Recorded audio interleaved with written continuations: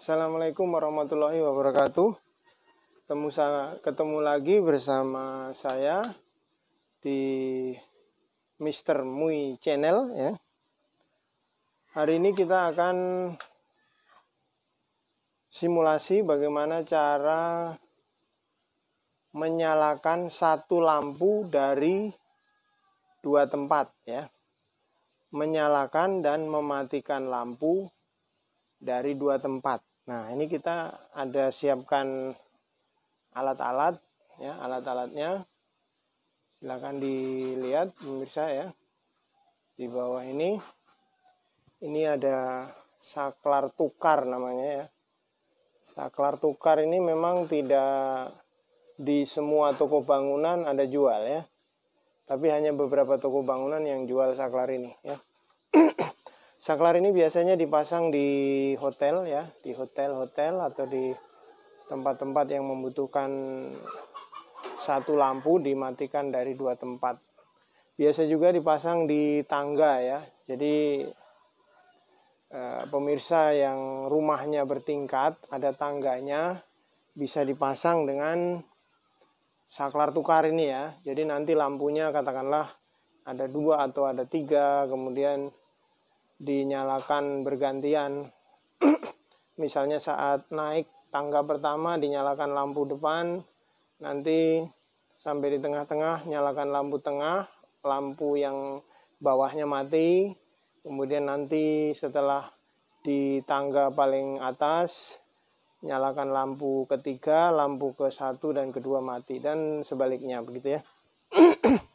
nah ini ada kita siapkan dua saklar ya dua saklar tukar, kemudian satu fitting lampu, dan yang terakhir atau yang berikutnya adalah satu buah lampu, kemudian kabel ya. Ini namanya kabel NYA. Kabel NYA ya.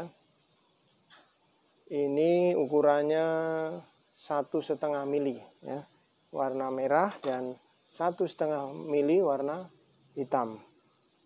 Baik pemirsa, sebelum kita lanjutkan ke uh, bagaimana cara merangkai, kita lihat dulu gambarnya ini ya. Bisa kelihatan nggak ini gambarnya? Silakan dilihat pemirsa gambarnya.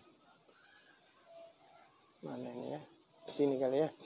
Oke, gambarnya ini ya. Jadi ini adalah lampunya ya. Ini lampu.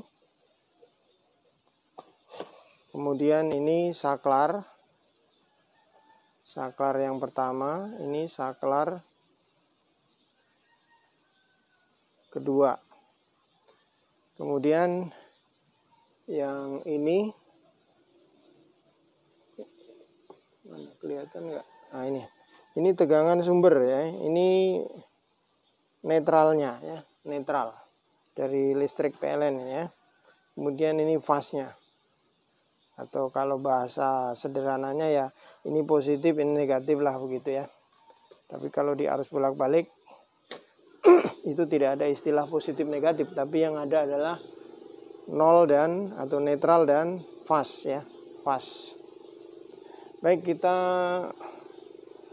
akan lihat bagaimana cara merangkainya ya. Nah, sebelum kita rangkai, kita akan ukur dulu, pastikan mana yang ini ya, yang sentral, yang yang sentral ini, mana yang sentral, mana yang saklar uh, berikutnya ya. Caranya kita letakkan di sini Nah ini bergerak jarumnya ya. Kalau saya matikan, mati. Tapi yang di sini hidup. Kalau yang sebelah sini mati, yang sebelah sini dia hidup. Ya. Jadi bolak-balik dia. Kalau yang sini mati, yang sini hidup. Nah itu hidup. Kalau sini saya matikan, gantian yang sebelah yang hidup. Ya, seperti itu. Nah, untuk yang bawah ini sama ini ya. Bisa di sini, bisa di sini gitu ya.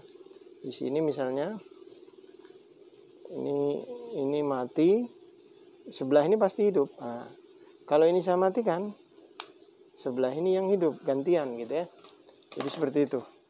Nah kita akan uh, mulai sambung ya.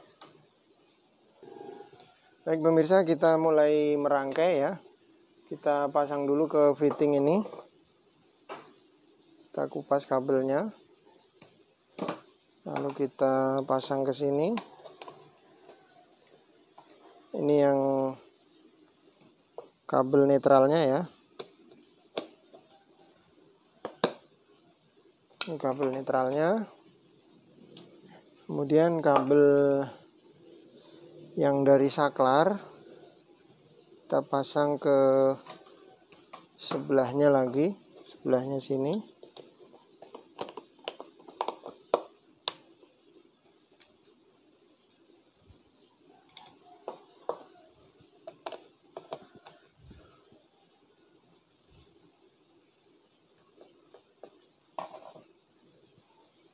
Baik, jadi seperti itu. Kita mengikuti saja gambar rangkaian ini, ya. Kemudian dari sini dia masuk ke saklar ya.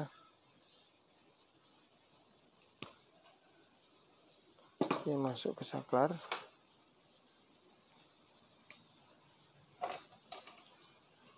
Kita ukur lagi yang tadi yang mana tadi?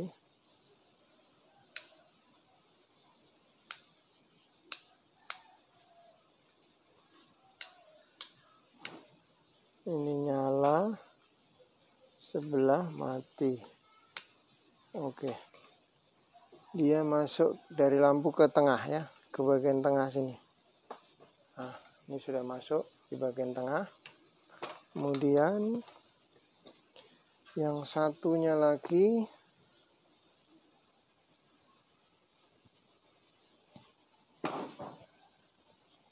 Kita kupas lagi ini pemirsa. Kita kupas. Kita kupas juga yang sebelah sini. Nah ini kita samakan dulu posisi saklarnya. Ini ada ada warna ini ya kita samakan semuanya di bawah seperti ini begini. Kemudian kalau kita lihat rangkaian ini ya. Ini yang sebelah kiri dia masuk di sebelah kanan. Yang sebelah kiri di sini dia masuk sebelah kanan di sini ya. Kemudian yang dari lampu dari lampu ini yang hitam. Yang hitam dia bagian saklar bagian sentralnya ya Oke, kita sesuaikan. Jadi yang kiri ini kita tusuk saja pemirsa. Dia masuk di bagian kanan yang ini. Nah, gitu. Seperti itu.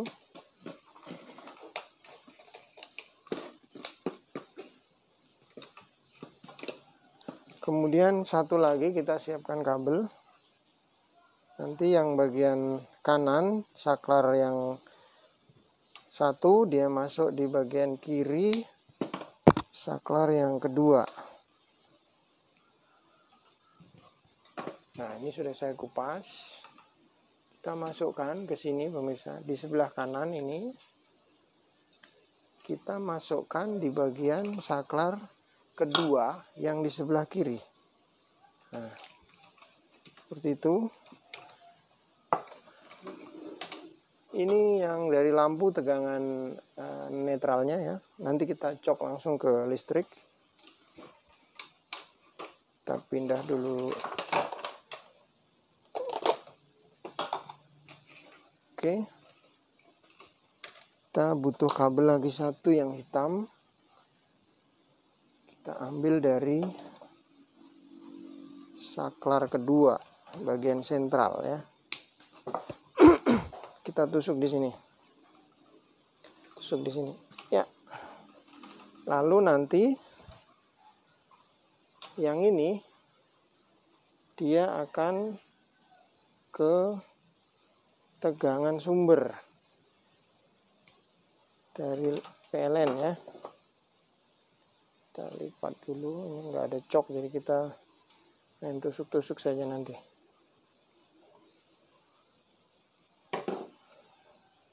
oke seperti itu. Sekarang selanjutnya kita pasang lampunya. Ini lampu led ya. Lampu led 10 watt. Ini sangat irit. Irit listrik ini. Oke. Sekarang kita balik saklarnya. Ini juga kita balik. Seperti begini. Ya lalu kita siapkan stop kontak. Kita tusuk ya di sini pemirsa. Kita tusuk yang satu. Kita tusuk lagi yang satunya di sebelahnya. Wow. Tusuk lagi. Nah. Nah ini sudah menyala. Sudah menyala pemirsa. Sekarang yang ini kalau saya matikan dari sini ya. Saya matikan ini pemirsa, saya matikan. Nah, mati. Sekarang saya nyalakan dari sini, dari sebelah. Saya nyalakan dari sebelah sini. Nah, ini nyala. Saya matikan dari sini. Dari sebelah kiri. Lihat tangan saya, sebelah kanan dan sebelah kiri. Saya matikan sebelah kiri, saya nyalakan sebelah kanan saya matikan sebelah kiri, saya nyalakan sebelah kanan. Saya matikan sebelah kiri, saya nyalakan sebelah kanan. Atau sebaliknya, saya nyalakan sebelah kanan, saya matikan sebelah kiri. Atau sebaliknya, saya nyalakan sebelah kiri, saya nyalakan sebelah saya matikan sebelah kanan. Saya nyalakan sebelah kiri, saya matikan sebelah kanan. Saya nyalakan sebelah kiri, saya nyalakan sebelah kanan. Terserah Anda maunya yang mana. Mana yang dinyalakan dari mana ke mana. Jadi, saya nyalakan sebelah kanan, matikan sebelah kanan juga bisa. Saya nyalakan sebelah kiri, matikan sebelah kiri juga bisa. Saya nyalakan sebelah kanan, matikan sebelah kiri. Saya nyalakan sebelah kiri, matikan sebelah kanan. Ya. Jadi ini namanya saklar tukar ya pemirsa. Jadi kegunaan saklar tukar ini biasanya kita pasang di tangga ya. Di tangga atau di hotel biasanya ya. Kalau di kamar hotel itu lampunya bisa dinyalakan dan dimatikan dari beberapa tempat. Nah, itu penggunaan saklar tukar ini di situ ya. Termasuk di tadi saya sampaikan di di tangga tadi ya. Di tangga. Jadi pemirsa, kalau kita lihat ya, ini sangat sederhana sekali cara memasangnya ya.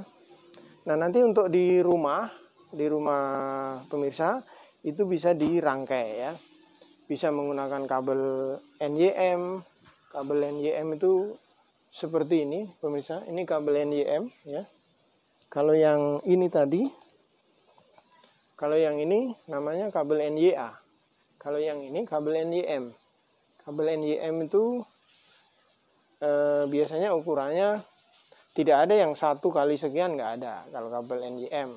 Kalau kabel NYA itu satu kali satu setengah, artinya ini satu urat kali satu setengah mili itu diameternya atau penampangnya ya. Kalau ini biasanya isinya dua, selalu dua.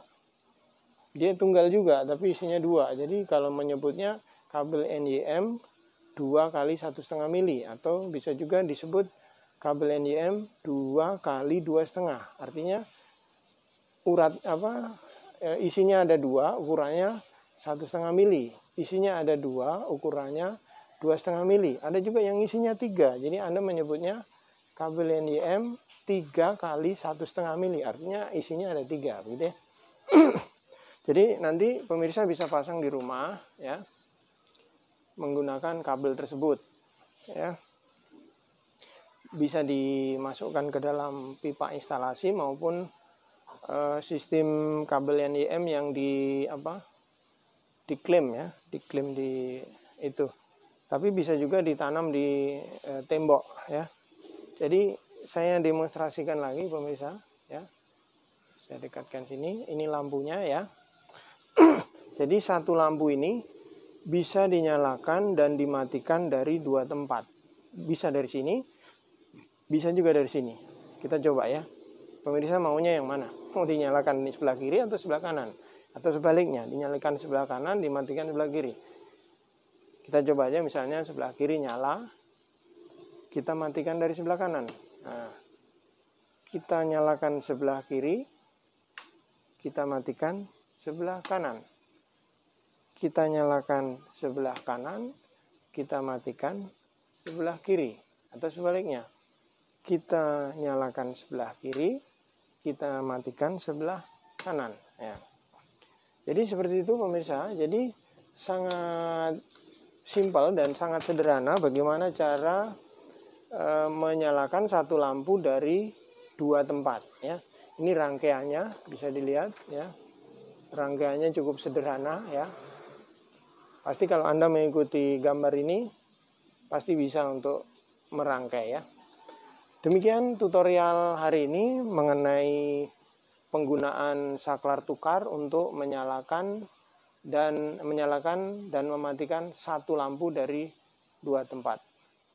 Semoga video ini bermanfaat dan bisa memberi inspirasi untuk Anda. Kalau Anda suka dan video ini bermanfaat untuk Anda, jangan lupa Anda like, share, eh, dan subscribe ya video saya agar Anda bisa mendapatkan video-video saya selanjutnya. Wassalamualaikum warahmatullahi wabarakatuh.